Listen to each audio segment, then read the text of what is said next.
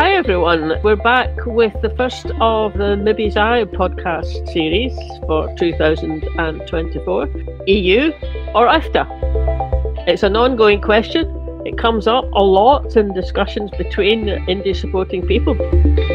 Fiona and I went over to Edinburgh the other week to a Yes for EU meeting. It was a whole afternoon's workshop, actually. Very, very interesting. Great group of people there. It consisted of a lot of inputs, really, of information about things that we don't hear very much about, like the EU association agreement that all candidate countries get. If that was part of the conversation about EU and EFTA, it just brings a, a whole nother dimension to it. There's two great speakers, Kirsty Hughes, who we've featured on our shows before, and Heather Anderson, former MEP. But the main point of the afternoon was that people were having table discussions. One of the participants said, Oh, if only we could put this into an hour's show and then come out to the yes groups with it. So we thought, well, let's do that. We've put the inputs together. We've given you discussion topics as well. If you want to take part in the discussion, just pause, have your chat, and then resume. Yeah. And if you do that, why not send your thoughts into Yes for EU? We'll put their email address on in the notes. Yeah, that is actually what we all did on Saturday afternoon. There, we had we had some input. We paused. We had a discussion, and but there was a further set of topics that were also discussed, weren't there? Farm payments, EU farm payments, borders with England, currency, what the EU requires and what it doesn't require, and also electricity interconnectors and where the EU is going with its energy policy. So lots in this. Hope you enjoy it. We'll head on to the workshop now, where Yes for EU convener Morag Williamson is about to welcome everybody to the event.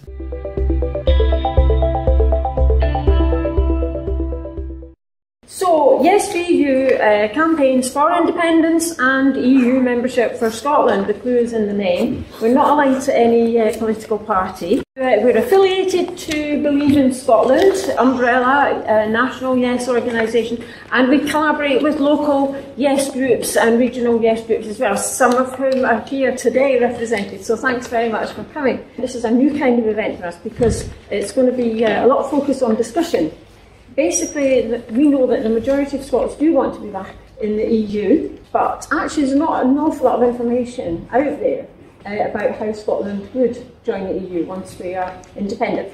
And a lot of myths flying around that we hear regularly when we're out campaigning.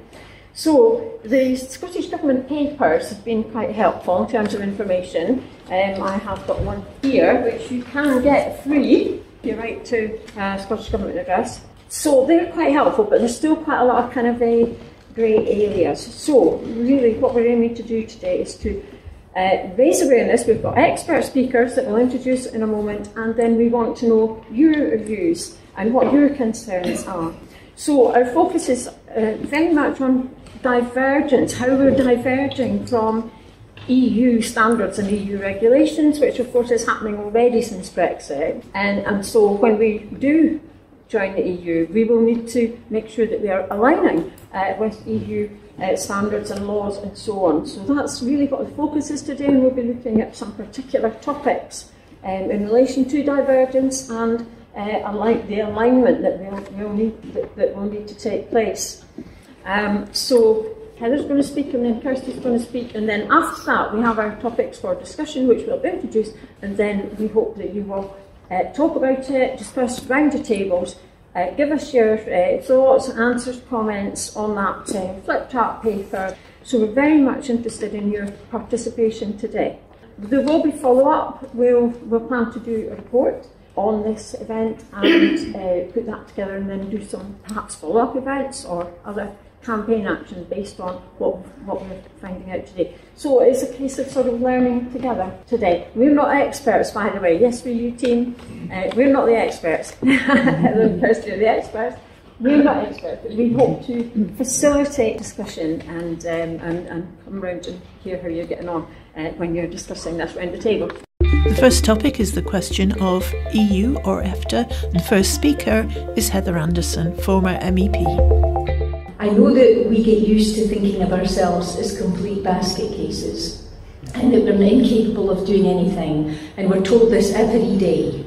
And when you go to Europe, you're suddenly confronted with all these people who think Scotland is amazing, who think we're entirely competent, who think we're capable of doing astonishing things and working collaboratively, and have a very high regard for us. And you come back to Scotland and say, I really wish you could see yourselves as other people see you.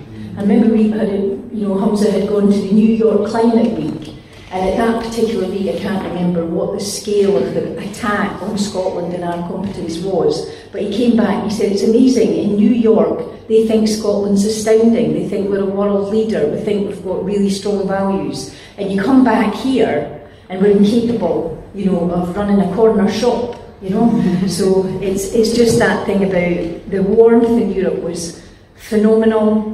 Um, people were very, very, very clear that Scotland's position was different, so they hadn't understood it before, and then they got introduced to the Brexiteers, and they realised that was an English nationalism project on steroids, so they completely differentiated Scotland from that point. Um, and I was certainly given lots of cards for when we come back. So I keep saying, you know, I had four days in Europe, but hopefully it was just the first four days, not the last four days. I've got some stats to cheer you up. Um, 62%, anybody know what that statistic is? Scottish That was the Scottish vote to remain. Every single local authority, 68% what it is now. So support for being in the European Union in Scotland is now 68%. 70%, 70% of people who voted from no in 2014 to yes did it because of Europe because they just thought, I don't want to be in this union, I'd rather be in that other union, 70%. So it's a massive swing issue. 67% of, I think it's 35 to um, 50 year olds support being in Europe. 57%, anybody got that one? 57% is the number of people in the UK who think Brexit's a disaster. Right? But they're not allowed to say that. You know, so that, these are the people who are saying this hasn't quite worked. Is it the sunny upland uplands have not appeared? Um, so all those statistics are very powerful. There was a, a research thing came out last week, What Scotland Thinks. I don't know if some of you read that. And they presented 10 scenarios where they said, would we be better outside the UK and in Europe in these scenarios? In nine of the 10 scenarios, people said we'd be better in Europe and out of the UK. And it wasn't by small margins, so between 15 and 22% more people thought Scotland would receive more funding and higher levels of subsidy support. They thought Scotland would have a stronger voice in world affairs, Scotland would have better environmental policies, Scotland would have higher wages, Scotland would have a lower cost of living, and Scotland would have a stronger economy if we were in the EU and not in the UK.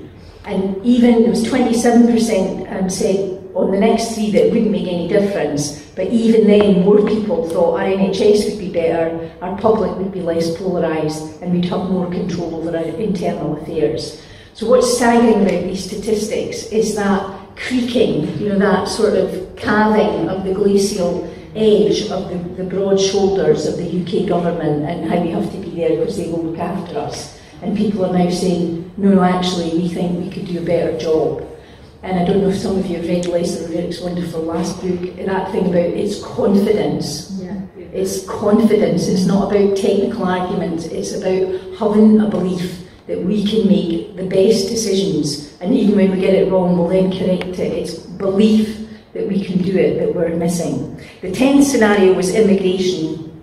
40% of people who were questioned thought we'd have more immigration in Scotland, but they thought that would be a good thing.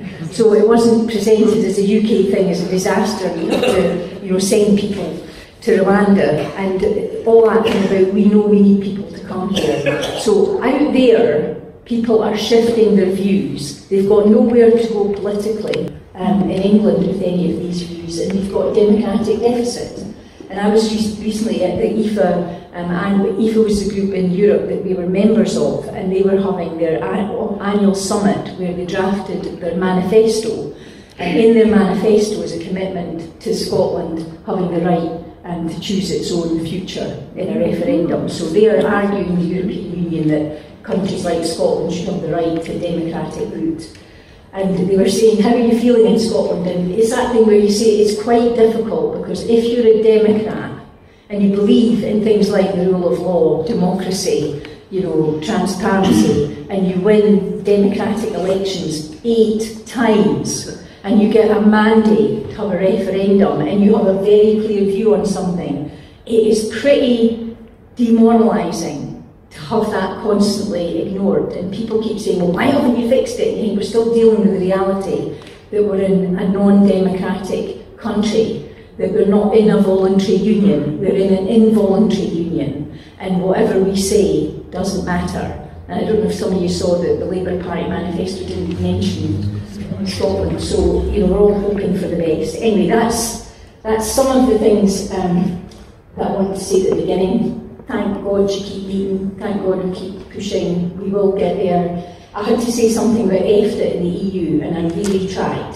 Okay, so the key thing about EFTA is it was formed back in 1960. It's got Iceland, Liechtenstein, Norway, and Switzerland in it. And when it was formed in 1960, it was formed as a trade bloc. And five of the other partners who were formed with it have left and joined the EU. So five of the founding members, Denmark, Portugal, Austria, Finland and the UK, left EFTA because it was better being in the EU. So that's your starting point that, you know, the people who were in EFTA, apart from Iceland and Norway, you could see it around fishing, that they might want to be out of there. Switzerland won't even join the EEA, so it's in a case of its own. The key thing about EFTA is um, in, in 1994 they formed the European Economic Area to broaden the single market so that F, the in there. And as far as I can see, you pay a lot of money to access Erasmus and Horizon in the single market. Um, you absorb the regulations, you comply with, you know, you put into your own legislation, European legislation, you agree with the four freedoms, you obey the rules, um, and you don't have a vote. And I think Scotland's kind of been there and done that. You know, so we, we didn't have a seat at the table. Um, we, we paid the money, we agreed with everything, it affected our legislation, but we couldn't have any influence or control. So been there, done that, got the t-shirt, can we just go for the real deal and get back into the European Union and be a member state, a sovereign member state? We've just got to do that wee thing about getting independence first because we can't join until we're a real state, but you all know that. So thanks for all the work you do. The next speaker is Dr. Kirsty Hughes, interviewed by Yes for EU's Sam Page. I'm delighted to introduce Dr. Kirsty Hughes, uh, who uh, is an expert on EU relations with, with Scotland. I'm going to ask some questions relating to an association agreement. So, obviously, my first question is what is an association agreement? Okay, thank you. It's, it's lovely to be able to do this video, and I'm sorry not to be with you in person. Um, an association agreement, you you can sort of think of it as a, a trade agreement plus, because it's it's like a uh, a deep trade agreement, you could say. Ukraine has one, uh, and it's called a deep and comprehensive free trade area. And, and then the Western Balkans, for instance, have each country of the candidates there have stabilization and association agreements. But also, countries who aren't candidates to join the EU can have those agreements with Brussels. Um, because it, it, creates a stronger framework, not only for trade, but also for social, cultural, and political issues. From the EU's point of view, if you are a candidate country, and so you're embarking on or in the middle of the accession process, it's a place where the steps in the accession process uh, can feed into relations between the two, the EU and the candidate country. Are they all the same? Um, obviously, there are different countries do they cover the same topics in each one, the same issues? They're very similar, but they're not identical. Um, so certainly it depends, as, as, I said, on whether a country is a candidate country or not. It also depends on particular issues around around the individual country. Um, it might be something as simple as does the does the country have a coast? Does it have a fishing industry or not? Or it, it might be other other more tricky technical issues about particular sectors of the economy. So, on the one hand, the EU is very used to negotiating these deals. Uh, there is, to some extent, there's a, if it's not a template, it's kind of like an outline template. But equally, just as you wouldn't impose identical trade agreements on any straightforward free trade agreement with another country, nor would you do so with an association agreement. So they do have to be negotiated. And I guess one question for an independent Scotland doing that is how long it would take. Considering often a, an association agreement is a first step to becoming an accession country or to actually rejoining the EU, why are they hardly ever mentioned in the media or even by our politicians? I think it's quite curious in the Scottish case, given that the, the aim of the SNP and the aim of the Scottish government is independence in the EU, that they don't talk about association agreements more. I think it's maybe part of a, a bigger issue around the way independence is argued for, where people like to talk about the final state, you know, when we're independent and when we're doing as well as Denmark or when we're in the EU. But of course, it's obvious to everybody the transition is really important and whether that transition is the one you're focusing on in terms of how you get from independence to being a candidate with an association agreement to joining the EU or whether it's the economic transition or whether it's some other political legal transition. Transition in a sense is at the heart of the the independence debate because it's fine to say we'll be this sort of independent country 10 or 20 years hence, but people want to know about their immediate future. So, do all countries that are currently involved in the enlargement process uh, have an association agreement? Yes, they all um, do. And actually, uh, to be honest, I didn't know this, but I, I, I, was Googling around this, knowing I was talking to you. And I knew that in the 1990s, all the Central and East European candidates after the Berlin Wall came down, they all, they all had an association. Ah, okay. But yeah, Greece, yeah. that I did know, but Greece apparently had one of the earliest back in something like 1961, long before it became a candidate to join, and it didn't join for another 25 years. So does it have to be in place before Scotland, if it was independent, became a candidate country? No, I don't think it has to be in place before that, but I, I think it can be in place. Okay. that. And I think if you if you look at the likely timing, so there's there's maybe other aspects to this that would be good to touch on. If on day one the Scottish government has decided day one of independence to put its application in on day one, that it's a um, got that ready during during the separation talks with the rest of the UK. In my analysis, that could take up to a year because, first of all, the Commission will prepare an opinion on Scotland's readiness to be a candidate country. Um, then it will put a proposal forward to the European Council, which is, the, as you know, the EU's leaders. And then you have to see if the EU leaders agree, um, which I think they would do. Um, if we're thinking some point in the next 10 years, obviously it's not going to be that long since we left the European Union. Um, and then eventually uh, Scotland is recognised as a candidate. There are then uh, discussions. Then, then you have to get one step beyond that to agree to open accession negotiations. You get a negotiating framework. You start talking about some of the pre-accession funding that may be available, as well as all the sort of harder work on making sure you've got all the laws and all the institutions you need. You know, it's a it's a very hard work process. The negotiation. It's not in many ways a negotiation. It's more like an ongoing test. You know, have you done this? Are you ready for this? Are you good enough on that? So not great fun at one level, except you know what you're you're doing. Mm. So in parallel to that, basically, uh, there will be discussions on an association agreement. And I think there's a very open question for me as to how long that might take to negotiate, even though, as I say, there are sort of outline templates in the fact that there are others existing for all the current candidates. Um, Scotland would still need its own. So maybe it could be done in three or six months, or maybe it would take 12 months. Mm-hmm. Um, so then, then there's potentially a gap and there's a pre association agreement question about what you do in that gap when you've left the UK, but you don't yet have your association agreement.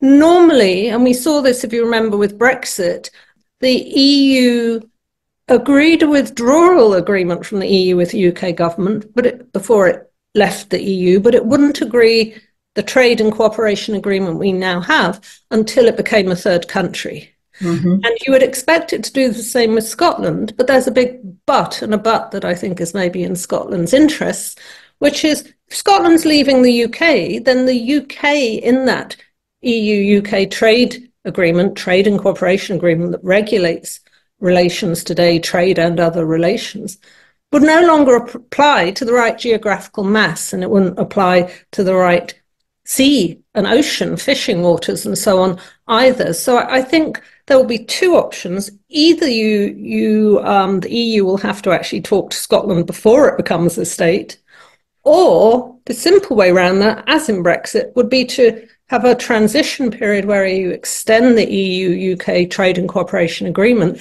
until you've negotiated the association mm-hmm. agreement. That would need the UK's agreement too, but mm-hmm. that something's going to have to be done, and, and the UK is going to have to do something. It cannot opt to do nothing.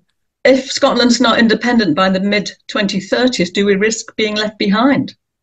I think it's an interesting question because what we're seeing at the moment in the EU, and it's very encouraging, and there's so many difficult challenges out there. It's it's a good thing to see. We're seeing much more renewed enlargement momentum. This is very much driven by Russia's war on Ukraine, and it's it's really uh, pushed the EU to recognise its core values that it was established out of the Second World War. It was established as a peace project. And so at the December summit, the EU leaders agreed to open talks probably in March with Ukraine and Moldova. They made Georgia a candidate country. The Western Balkan countries who've been candidates for a long, long time and not getting anywhere for for a whole mixture of reasons. They're trying to speed that process up. And, and you can see it taking off in some of the discussions across the EU in think tanks, in media, where people are saying, well, how much does the EU have to change to be able to cope with up to nine new members? Do we have to have majority voting on foreign policy or on budget issues? How can we make sure, as we see with Hungary being difficult at the moment, that no one country uh, just vetoes everything? So I don't think Scotland exactly risks being left behind.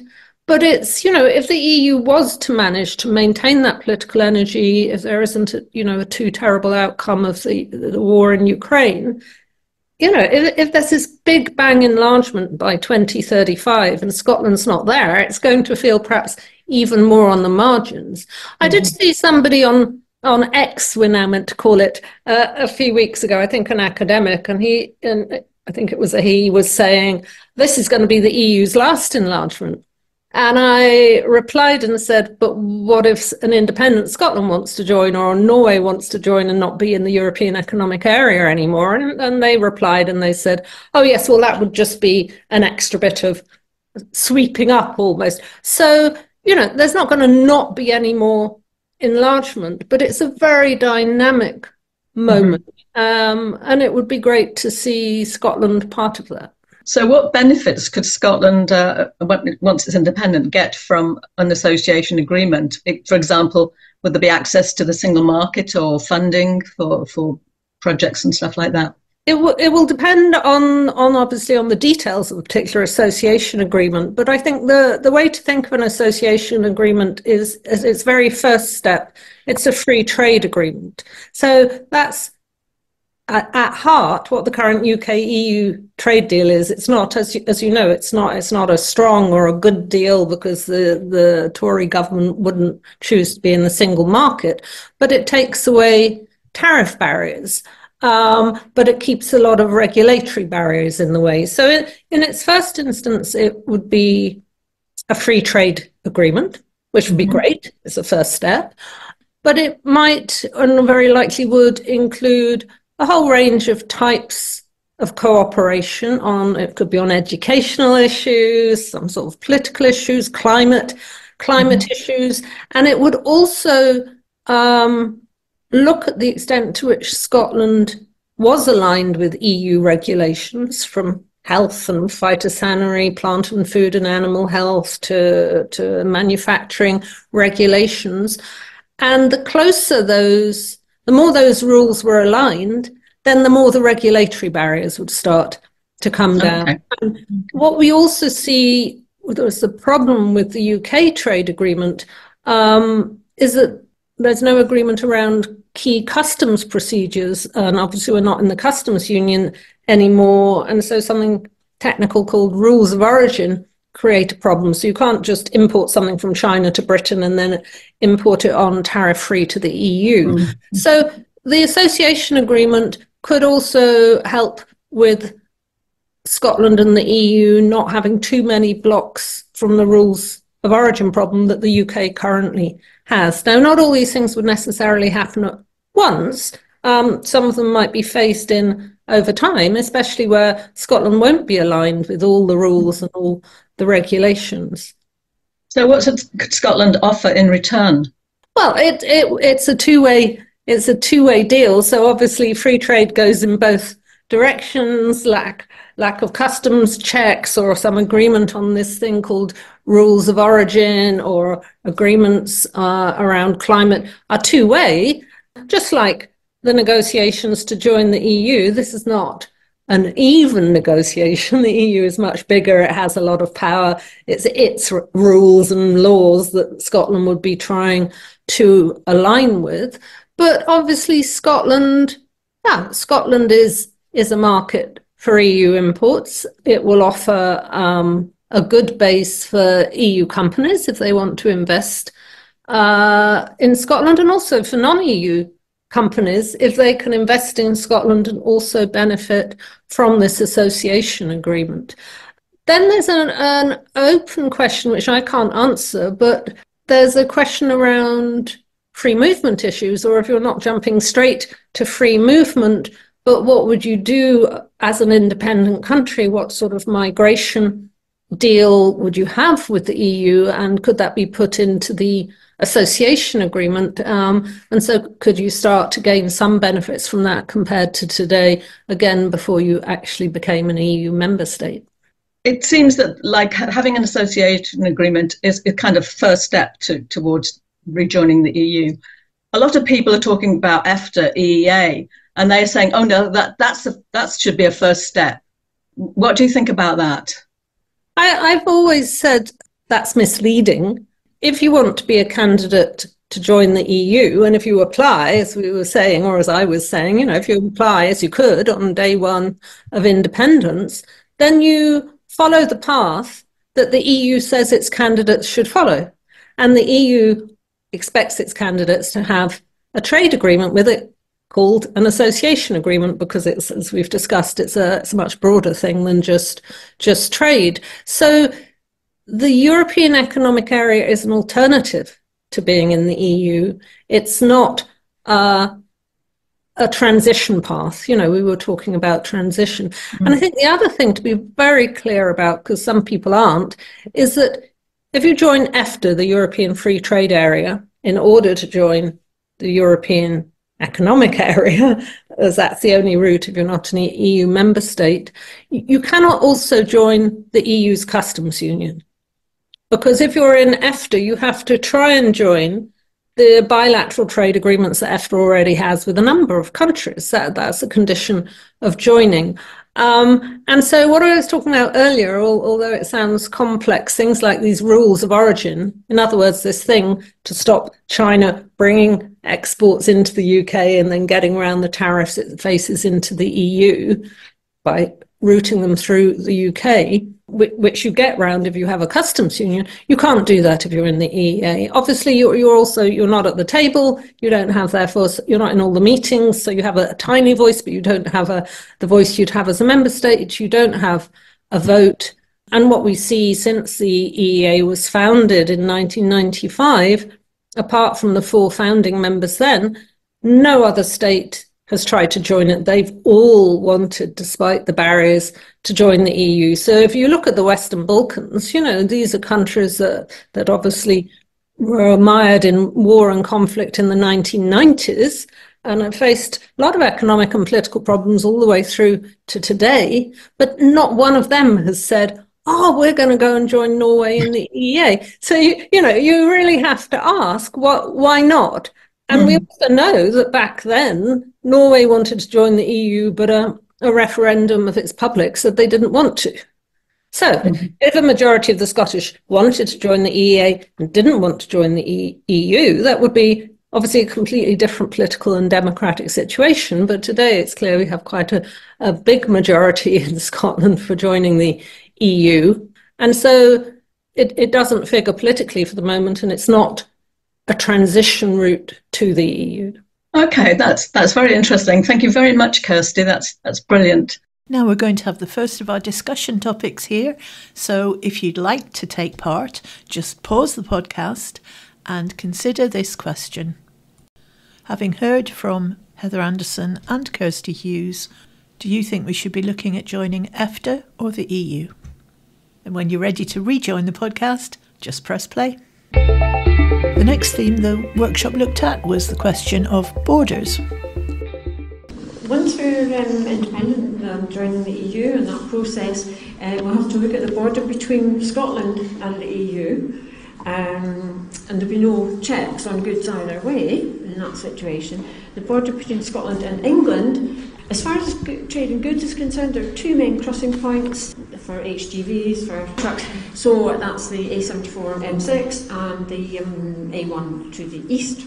Uh, so and there will have to be checks, but we're going to look at you know how that can be dealt with. Between Scotland and Northern Ireland, well, assuming that uh, you know the Northern Ireland Protocol is still in place, then we don't have to worry about uh, about because it will be similar to the border between Scotland and the EU. So I, I need to tell you a wee bit about Scottish Government policy. This, so this is from the um, this is from the Scottish Government paper. Um, so according to that paper, the Scottish Government would expect to use a single trade window, in other words a one-stop shop online platform where traders submit their documents in advance, uh, and that means fewer and faster checks at the actual border.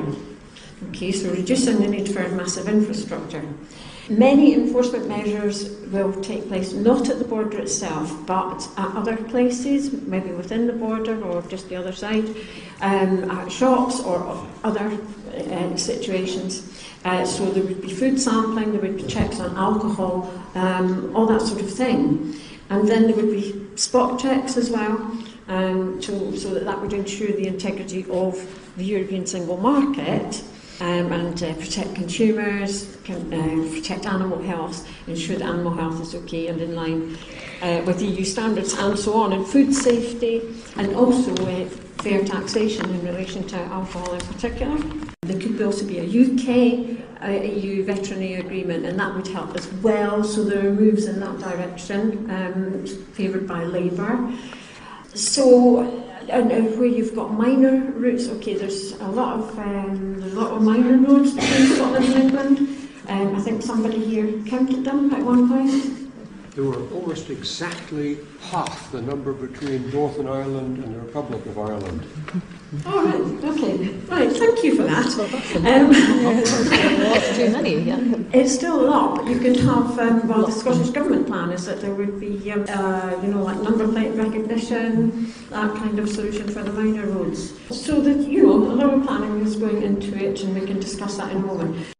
Next, the workshop were shown a film about the common travel area now, I can't show you the film on an audio podcast, obviously, and there was no audio to it, it was just visual. But what it actually said was the Common Travel Area allows Irish and British citizens to live, work, and study in each other's countries. The Common Travel Area predates our EU membership. After Brexit, Ireland, the UK, and the EU all agree that the Common Travel Area will continue. Under the Common Travel Area, Irish and British citizens can move freely, live and enjoy the right to work in either country. Citizens can also access all levels of education, publicly funded health services, social security rights, social housing, and vote in local and national parliamentary elections. Ireland and the UK will continue to work together on the common travel area into the future. And that was a film from the Irish government preparing for Brexit. And the implication, obviously, is Scotland is also part of the common travel area and would be after independence as well. And this is just a taster of one of the table discussions. It's just a couple of minutes.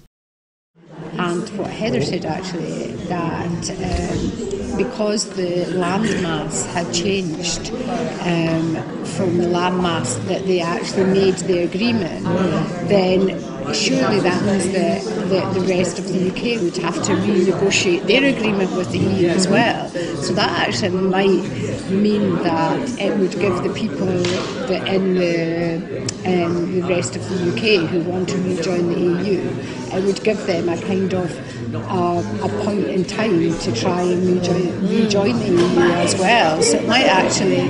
So I've always kind of fought against. A lot of people in the group have been trying quite keen for um, Yes for EU to sort of reach out to pro EU groups um, down south, and I've been a bit like, oh, that's bit of a waste of time. Why are we wasting our time? But actually, if we could put it to them that if Scotland did join, then that actually would mean that the rest of the UK would have. I've had Kirsty in a different situation say that she could um, envisage that would be a three-way negotiation. I mean, everyone at the table at the same time. Yeah. So us, the EU, and you know the rest of the EU, Yes. there's the UK. For that sort of, Yeah. for that sort of reason. And I hadn't thought about it from the point of view of actually that might give the folk, the yes supporters down and down south, I or know. even the UK government, whatever it is. to, to at least to rejoin, consider rejoining the the, E- the, Euro, the single market with be EEA. Effectively. Yeah. the customs union. The customs union would be more yeah, important. yeah, though. it, would, it potentially would give them that a sort of Yeah. opportunity to get their voice heard. And Now, if you want to pause the podcast and have some discussion, question two is how do we make the land border with England as frictionless as possible? And when you're ready, rejoin the podcast. With the next theme is currency.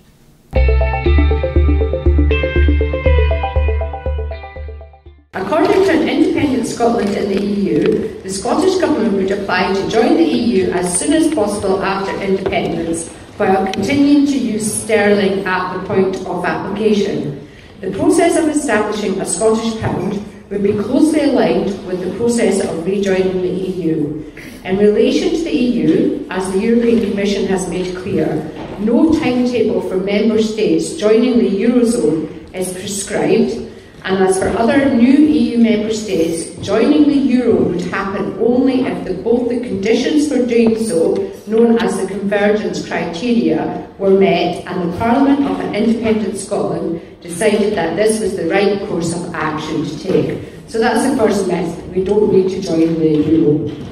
The architecture of the Economic and Monetary Union, the EMU, explicitly stipulates that a country will only join the euro when it is ready, and the convergence criteria are there to ensure that in introducing the single currency would be desirable to both the member state and the eurozone as a whole. According to a stronger economy with independence, among successful independent countries, there is no single approach to the currency regime. The choice of currency is a product of um, economic and financial history and political decision making. For example, Austria, Belgium, Ireland, Finland, and the Netherlands share a currency, the euro, while Denmark, Iceland, Norway, Sweden, and Switzerland have their own currencies. However, Denmark pegs its currency to the euro, meaning that it, it is shares a fixed exchange rate with the euro, and shares it with Greenland and the Faroe Islands. The decision to peg the euro is a policy choice. Denmark's main trading market is the European Union, so pegging provides price stability for trade uh, with the 18 euro economies. We propose two phases for currency policy after independence. In phase one, from Independence Day, Scotland would continue to use the pound sterling. This does not require any formal agreement with the Westminster Government. Sterling has been the legal currency in Scotland for centuries and is internationally traded. The continued use of sterling would allow time for new institutions, including an independent Scottish central bank, to be established during transition and to build credibility, ensuring continuity for citizens and businesses during the phase immediately after independence. In phase two, a new independent Scottish pound would be established. This would take place as soon as practical through a careful and managed transition. The decision about when the economic conditions are right would ultimately be for the Scottish Parliament, Part of the remit of the post-independent Scottish Central Bank would include advising on these economic conditions. Next, we had a video from Scotonomics. It's an interview with Marla Dukharan, who is an economist from the Caribbean. And she was asked whether currency unions work. In this life, everything is a trade off, right? There will be advantages and disadvantages to having your own currency. I think that the main advantage to having your own currency is that it gives you a policy tool that you can use to manage your economy. And it's a very important policy tool if you are a country that is quite open. For us in the Caribbean, most of us, total exports plus imports over GDP is over 100%, right? The amount of trade that we engage in to survive explains most of our economy, right? We, we sell tourism, we sell oil and gas, we still sell sugar and rum in order to um, import the food and fuel that we need to survive. So if you're a highly open economy, and I know that Scotland does have oil and gas as well, if you're a highly open economy, you export a lot and you import a lot, then your currency becomes that much more powerful a tool to manage your economy than if you were not an open economy. The other consideration is when you use somebody else's currency, you almost import their, their inflation and their interest rate policy.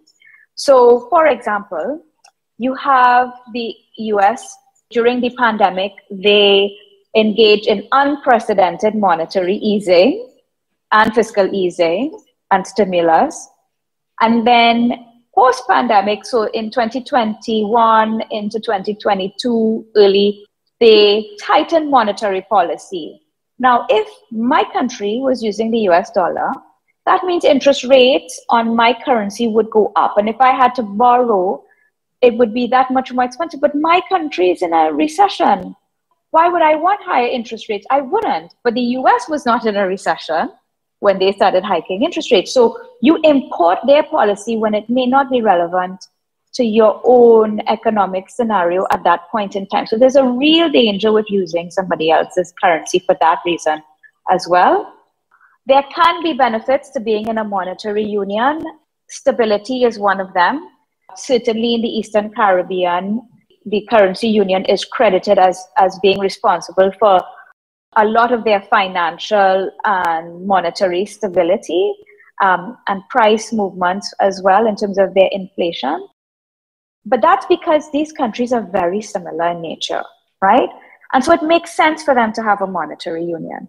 But when you have a monetary union like the EU, where you have a country like Germany that has the same currency, same interest rate policy at the same time as a country like Greece or now Latvia, I mean, when I look at that, and I and uh, for a small country, I just think that's just so wrong. It just makes no sense. So unless you are very very similar, and your trade is so integrated, and other things are so integrated that it makes sense to have a monetary union, perhaps it's best to have your own. And again, a little flavour of the table discussion. Part of our challenge in 2014 was saying to people, don't worry about it, the UK will still continue to pay your pension. When actually it's a nonsense. I mean, we don't pension. There isn't a pot of money that pays people's pensions. It's what mm. it's the money that the country gets in this year that pays the pension out of. That's what Scotland will continue to do. Um, do you think there's any other scenario that? Well, yes, as I was saying, there's the other scenario where um, you from the, you treat pension entitlement earned up to the point of independence as still being payable by the UK government that has been debated as a possible scenario. As I say, in the same way as currently applies to UK pensioners who move to any other country, they yeah. can still draw their UK pension. So, in terms of key constraints to full alignment, uh, in terms of the Scottish currency, not having an independent Scottish bank, we do have a, an investment bank, don't we? So we need a central bank, don't we? That's we different do. from the investment a, bank. We need a central bank. Yeah. So that can we still be using the, the English pound while joining the EU. And that, that's a big point of debate. And most people think it would, it would require a concession from the EU, but, but most people think the EU would give that concession as long as it was for a, a limited period. It might depend on how long it took us to get to the point of actually joining the EU, though, wouldn't Yes, it? I mean, yes, it's sure. quite likely that we could have set up our own currency before that. I think when they're talking about as soon as possible, they mean absolutely as soon as possible. And discussion question three is what do we need to do to get ready to issue a Scottish currency? When you're ready, rejoin us and we'll, we'll be moving on to talk about farm payment scheme. And here's Heather Anderson to explain what that means. Basically, the Scottish Government have maintained the budget of 650 million for agriculture. We used to get 650 million into Scotland from the European Union for farming. That money was distributed in two uh, columns. Pillar 1, which is the direct payments, and Pillar 2, which was the environmental schemes. Now, Pillar 1, 85% of the 650 million goes into Pillar 1 at the moment. Um, that is a direct payment for owning land, and the more land you have and the better land you've got, the more money you get.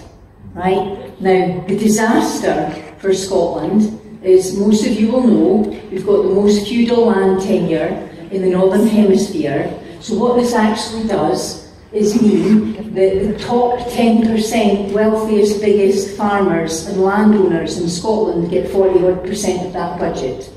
Now that meant that last year um, there were four, there were single, called single farm payments, and last year there were four of them that were above a million pounds. There's nowhere in the northern hemisphere like Napoleon didn't make it to Scotland, so we've got these enormous areas of land owned by one person, 385 people in half of Scotland, and they get and they do not have to put a spade in the ground to get this money. There is no exchange.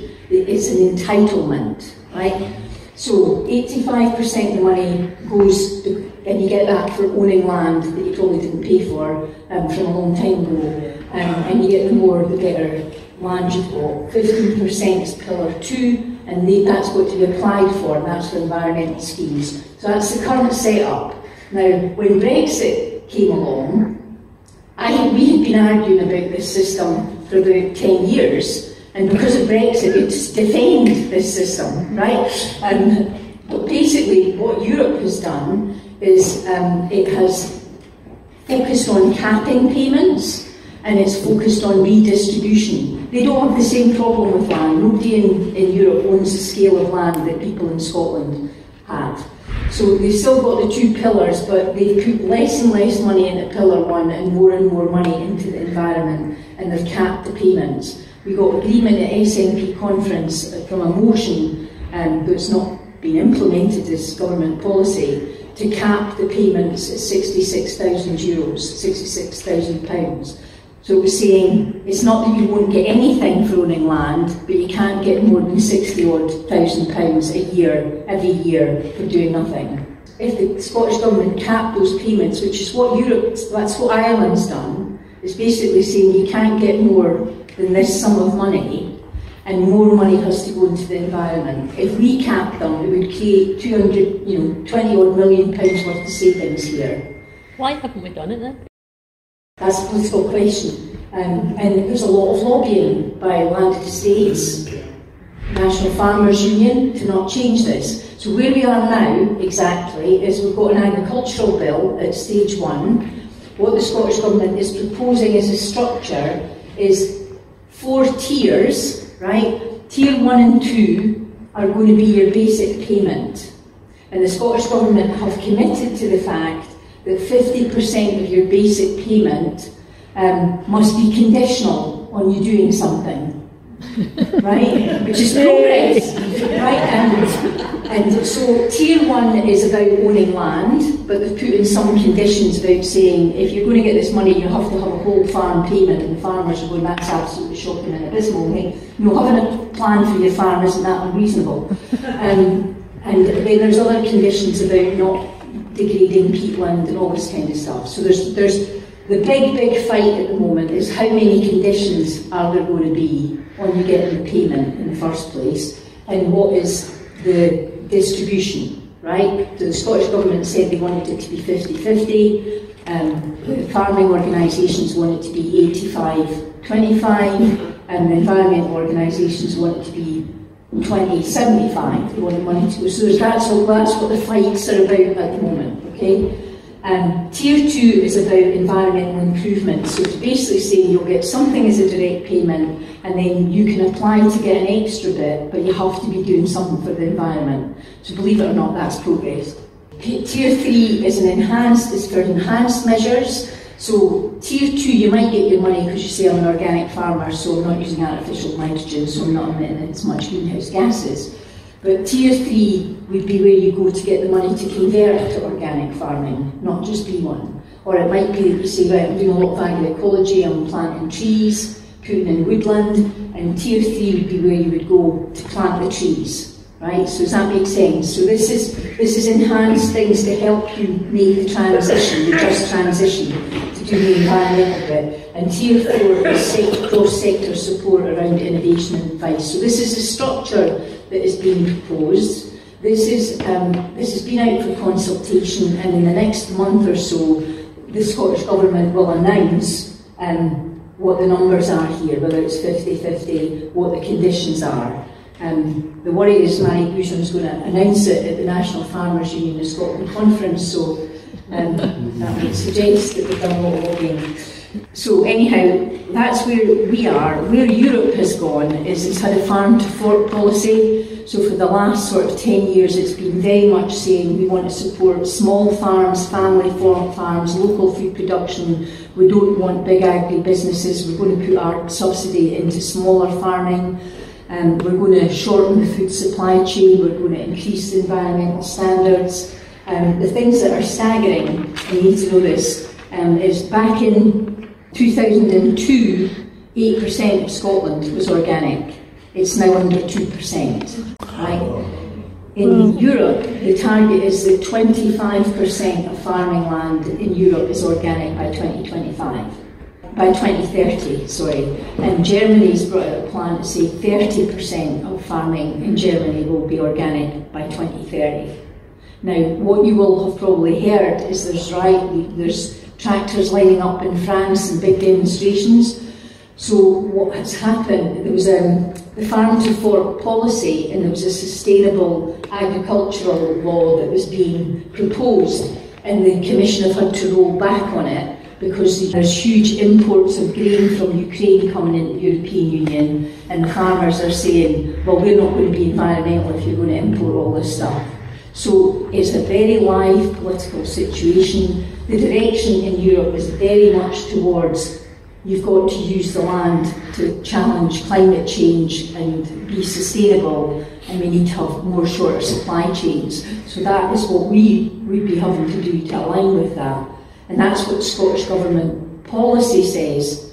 It's, it's just not necessarily we might end up unless we're bold here will still support farming, but there have to be some conditions, and the conditions have to tie up with climate change, um, you know, biodiversity, environmental standards. We can't just keep farming the way we are and not link these you know, two agendas.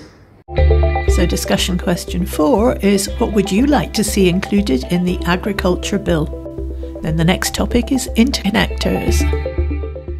So I just want to introduce the topic of Scottish renewable energy uh, not being integrated into the EU-wide grid. All EU member states are committed to turning the EU into the first climate neutral continent by 2050. To get there, they pledge to reduce emissions by at least 55% by 2030 compared with 1990 levels. This means increasing access to electricity from renewable sources across Europe. By increasing the number of interconnectors between countries on land and under the sea. And you can see there where they all go. All down to England at the moment. The onshore transmission network in Scotland is privately owned. Scotland's surplus energy is sent to England via the privatised national grid. Two new electricity superhighways are being built by the National Grid, East Lothian to Durham, Peterhead to Drax in North Yorkshire. It's going straight down to England, and then anything that's surplus is then sent to uh, France, Belgium, Netherlands, and Denmark via England's undersea cables and interconnectors. The total amount of energy exported from Scotland in 2022 was worth £4 billion. England currently has eight undersea interconnectors with neighbouring EU countries, including the latest Viking Link, which stretches 475 miles from Lincolnshire to southern Jutland in Denmark and took five years to construct. Scotland has only one short interconnector, which links Western Scotland with Northern Ireland. Ten EU countries are planning to build an offshore grid in the North Sea. People are thinking about energy more than ever. The rise in energy prices has really focused minds in governments and on the streets. Everyone is clear. High gas prices are the problem. That's what's pushed up electricity prices. Europe is consuming and importing too many fossil fuels. We need more renewables and we need them quickly. The climate crisis only reinforces this urgency. Renewables are now around 40% of the electricity we consume in Europe. That's not bad, but electricity is still only one quarter of all the energy we consume. The rest is the petrol we put in our cars, the gas boilers in our homes, the fossil fuels that still power much of our industry and our ships and aeroplanes. If we want to decarbonize our economies and be less dependent on imported oil and gas, we have to increase the share of electricity in our energy mix. Electric cars, electric heat pumps in our homes and offices, electric boilers in our heating systems, manufacturing powered by electricity. The European Union totally gets this. They want electricity to be three quarters of our energy mix by 2050. They want our transport, buildings, and industry to run 57% on electricity, with another 18% running on hydrogen produced from electricity. Now, where's all this electricity going to come from? The EU want one half of it to come from wind. This gives us huge opportunities and a huge responsibility the EU want a huge increase in offshore wind. They want an even bigger increase in onshore wind. This is affordable. We have the technology. The finance is available. The challenge is the permitting. We need simpler rules and procedures and more staff in the permitting authorities. We also need to invest more in grids. And we need to take care of our supply chain and invest in our workforce and skills. Then we need to help energy consumers who want to go electric. The industries who want to decarbonize and are knocking on our door to sign PPAs. Those building the infrastructure to electrify transport and heating. The hydrogen providers who want to run their electrolyzers on wind. These people want wind. Governments want more wind. Communities want wind. Let's make it happen. Let's help Europe go electric. Interconnectors are high voltage cables that connect our electricity system with the electricity systems of neighbouring countries. They allow us to share renewable energy, such as wind or solar power, with other countries. When the wind is blowing or the sun is shining in the UK, we can share excess energy with our neighbours. When we need more energy, we can import it from them we already have interconnectors connecting the UK to France, Belgium, Norway, and the Netherlands. And we have another interconnector to Denmark in the works. How will interconnectors help us reach net zero? By sharing energy between countries, interconnectors give all of our energy systems access to more clean, renewable energy. This will help each country to reduce the amount of electricity they produce from more carbon intensive power stations.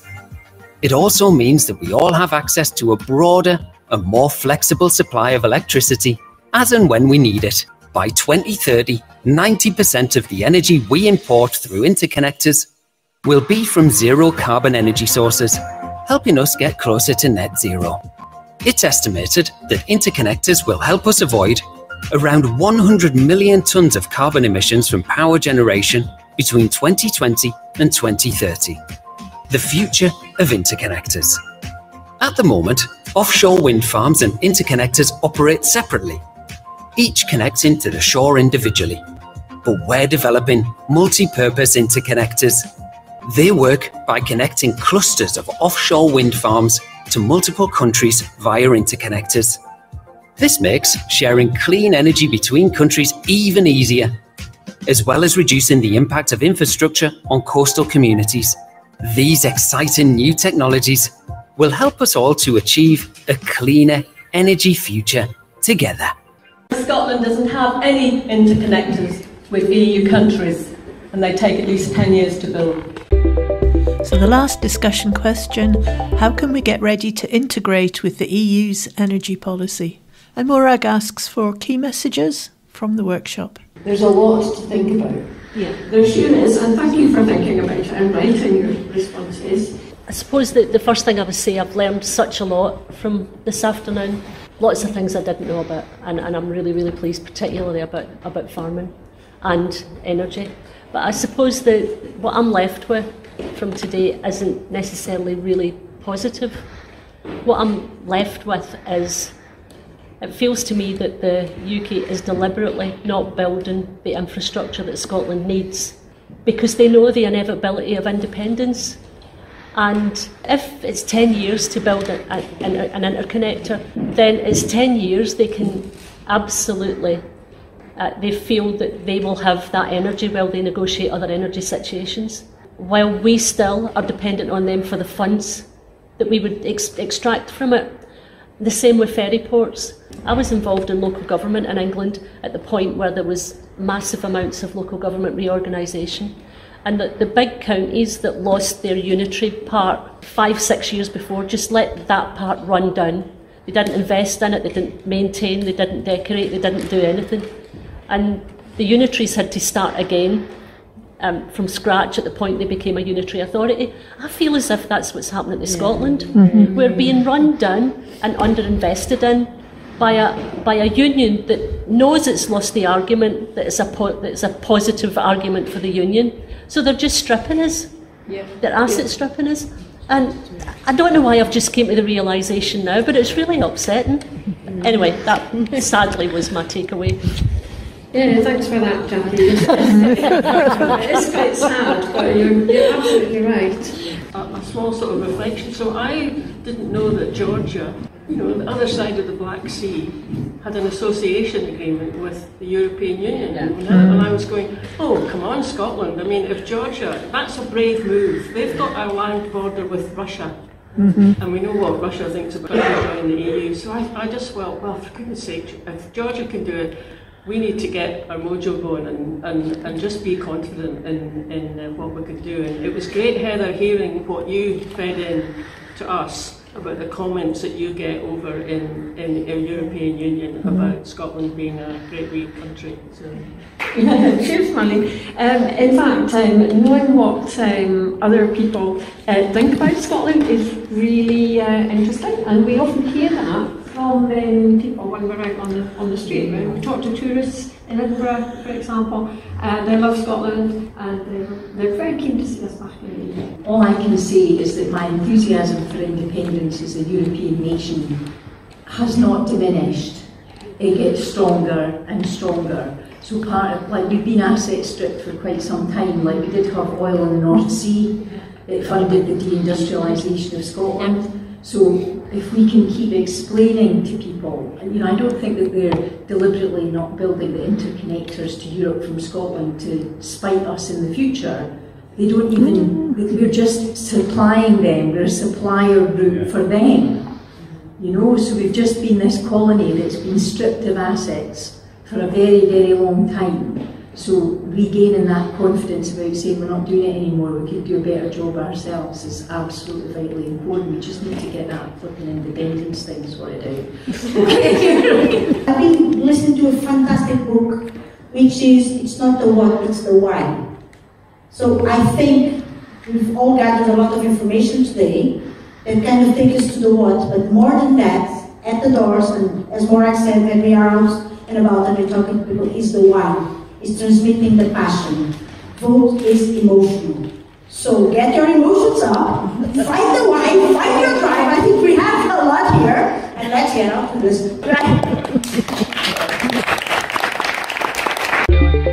So thanks for listening, everybody. Uh, thanks to Yes for EU for having us along to your event, and we'll catch you all next week. Bye now. Bye.